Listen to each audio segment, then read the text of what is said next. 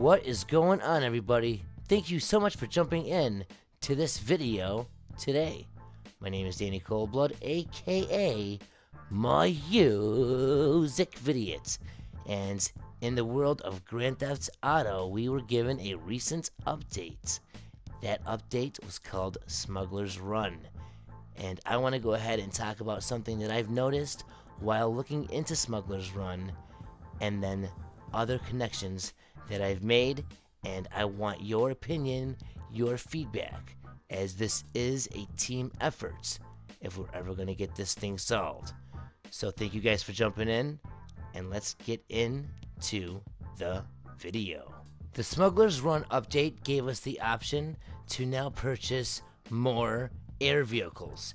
And while looking at some of these air vehicles, I went ahead and noticed that some of these descriptions hold some pretty interesting clues, if you ask me, which I will be going ahead and showing you guys in an upcoming video. I've been working on this video for a couple days now, so when it comes out, it should be pretty good. So stay tuned for that. As I'm looking at some of the descriptions here for the new vehicles, these new air vehicles, I thought about the video that I just recently posted. And that video talked about clues that were hidden in plain sight by Rockstar. And one of those clues was if you go to your settings and you go down to Facebook, there's a list of different things that Rockstar shares after you complete. And one of those things were to buy and drive all legendary motorsport vehicles and it kind of caught me off guard. Why just Legendary? There's other companies you could buy cars from in this game, and why just cars? Why not the other uh, vehicles, like the air vehicles or the boats? So, as I'm looking at the newest descriptions for the newest air vehicles here in GTA 5, given to us by the Smuggler's Run update, I started thinking about the other vehicles that we've had, maybe from even the beginning of the game's release. So I went ahead and looked at Elitas. I came across the Luxor Deluxe and the Swift Deluxe, and I remember thinking a certain thought when these vehicles came out. And that thought was, why the fuck would I spend $10 million on a Luxor Deluxe when they have a Luxor for $1,625,000? And something didn't seem right to me because of the price difference just so I can have a gold plane. I overlooked it and I didn't really have anything at that point, but if you guys have been watching my recent videos, you know that gold is a big key word, and that's what we're looking for, guys, is key words. Gold is a key word when looking at this mystery and I've explained that in the past few videos. So if you guys have not checked that out, definitely go and check out those videos. But I realized that there is certain things that this game might be doing, and they are doing it in a subtle way, hidden in updated vehicles. And I believe that clue was gold. So while I'm looking in Smuggler's Run, and I'm seeing all the new vehicles and the different uh, aircrafts and stuff that we have in the descriptions, I'm starting to wonder about other aircrafts and the descriptions, and maybe, just maybe, we should focus on some other stuff that we may have passed by or not really focused on correctly when we went through it the first time. So I'm going to go ahead and focus on the Maverick for today. So looking at the Maverick, we see the description and it says a two-bladed twin-engine helicopter. The Maverick was manufactured in Canada, but you shouldn't let that put you off. Originally designed for military use, when the Army rejected them for looking too French, they became hugely popular with rich social climbers for exactly the same reason used by law enforcement for surveillance operations, you'll often see them hovering above inner city African American neighborhoods. Billion candle power spotlights and loudspeaker optional. But trust us, it's fun to play with over poor neighborhoods at night. Now, this really caught my attention because of a couple different things. Let me break it down for you guys here.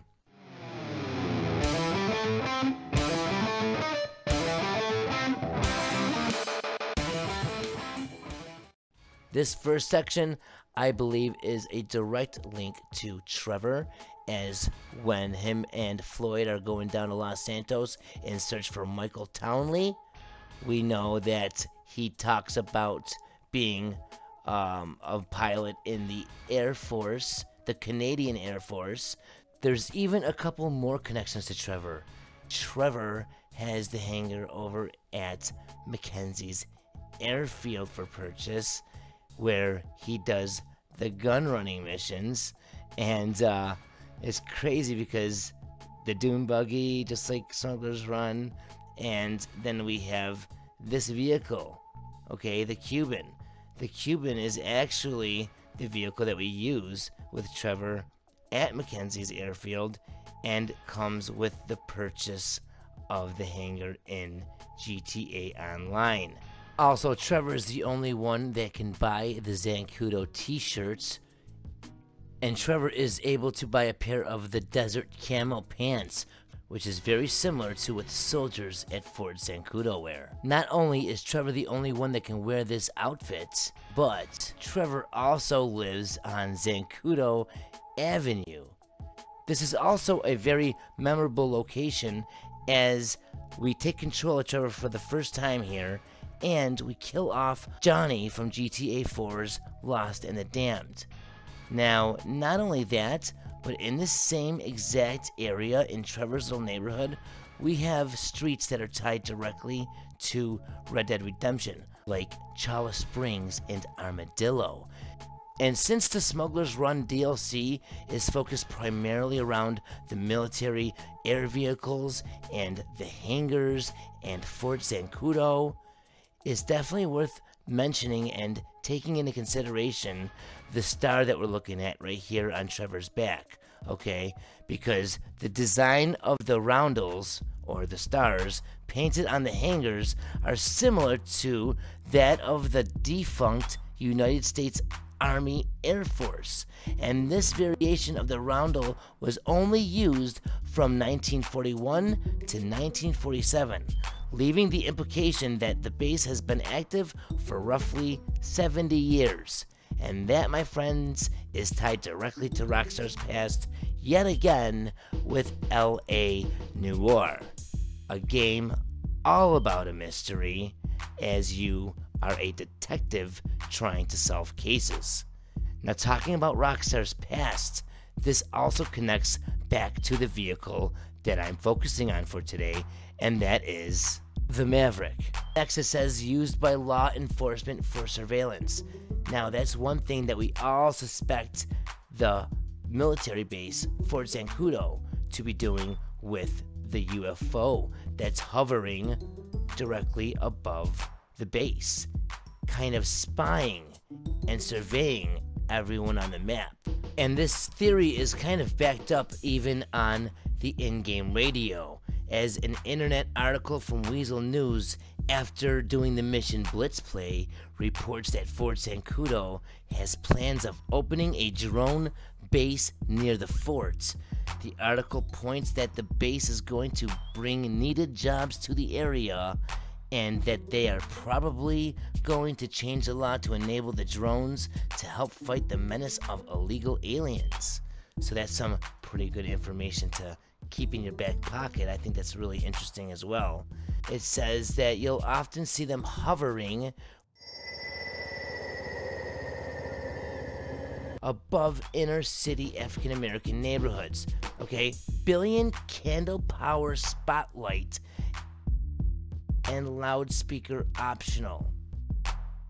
Now, that's really strange to me. It really stands out to me because that's not the first time that I've heard this game use the word candle in a weird way. You creeping on some fools, huh? Alright, nigga, well handle your candle. Handle your candle. Handle your candle. Now that's pretty crazy.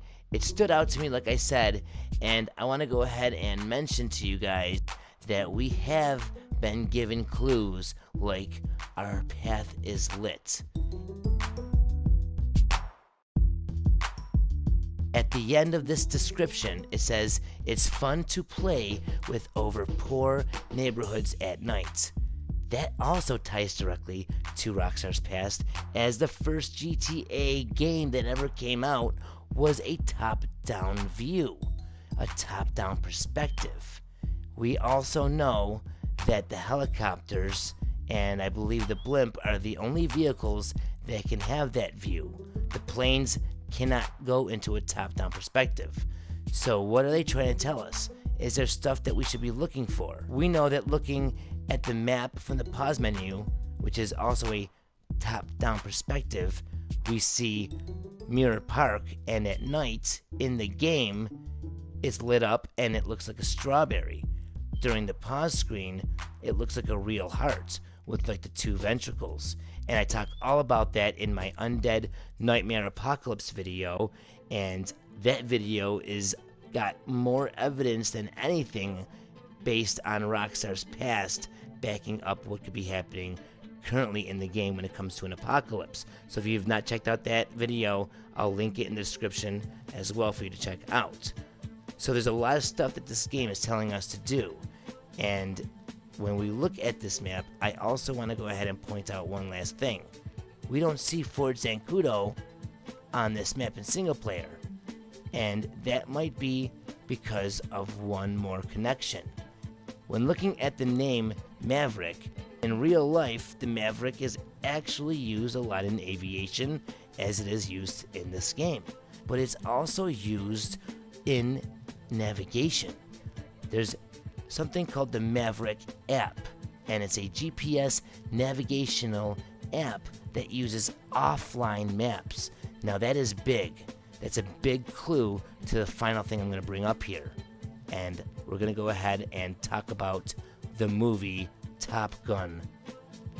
Maverick was the call sign of Pete Mitchell in the film Top Gun, played by Tom Cruise. Maverick was aboard an aircraft carrier, and he and his radar intercept officer, okay, a radar intercept officer, Nick, aka Goose Bradshaw, were given the chance to train at the Navy's Fighter Weapons School in San Diego. Now that's crazy because we have a flight school here in San Andreas, both California, fictional and non, and the part that really gets me is the radar intercept officer. Okay, we talked a lot about different things with the satellites and the radio telescopes. As you can see on the screen right now, we are in GTA Online. We have missions called Top Fun, Top Fun 2, Top Fun 3. Also, I want to bring up that that mission Top Fun was not the first time that we've seen a mission called Top Fun when looking at Grand Theft Auto. We had Grand Theft Auto Vice City, which included a mini mission with the same name, and backing up the connections more and more. But when we look at the word Maverick when it comes to computers, like we just said, it's also a navigational app that uses offline maps for GPS. Now, when we looked at the map, we did not see Fort Zancudo on this map because Fort Zancudo is a restricted area, so it must remain secret from aerial view. And it's the same as Bolingbroke Penitentiary. So, guys, I have to ask you could this map that we are looking at when we are in our pause menu not just be a regular map, but maybe a certain type of map. Maybe a map that gets its view from a satellite, and that's why certain areas are blocked off because they are restricted and blocked out by different technology or whatever, when we're online, now we can see online, offline. Maybe the reason we cannot see this in single player is because we're offline. This opens up a whole new way of thinking, and you guys are awesome hunters. You give great support and you give great feedback constantly. So I cannot wait to hear what you guys have to say. Let me know what you think in the comments below, as I really do think that when we pay close attention and we really do a little bit of research, we can find that the information can be so big that we can possibly even use it as some of the biggest tools needed when looking to solve the Chiliad mystery. I want to thank you guys all for jumping in. It's been an honor and a pleasure. I'll see you guys in the next video or broadcast. So take it easy. Ta ta, and as mother fucking always. Peace.